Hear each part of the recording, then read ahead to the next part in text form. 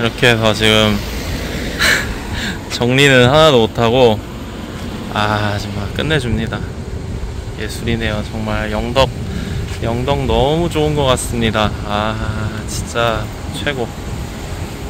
지금 가져온 쓰레기는 전부 일단은 여기다 넣고 집에 가서 분리수거해서 버리는 걸로 했어요. 아, 역시 가져온 쓰레기는 전부 이제 책임지고 가져가는 걸로 네, 그리고 어제 이제 해먹은 것들은 바다에서 설거지를 할 수가 없기 때문에 이렇게 따로 챙겨서 왔습니다.